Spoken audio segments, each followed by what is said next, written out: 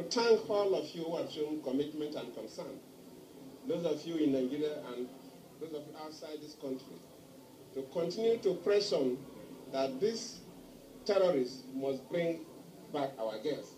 And they have no choice because I'm quite pleased that the whole world is singing the same message that they must bring back our girls. And there's nowhere they will take these girls to. They have no hiding place. We must work with the global community that are quite keen to make sure that we bring back the girls. We plead with the parents as a father and the president of this country. I feel pains. I don't sleep with my two eyes closed. And I will not sleep with my two eyes closed until these girls are brought safely back to their parents.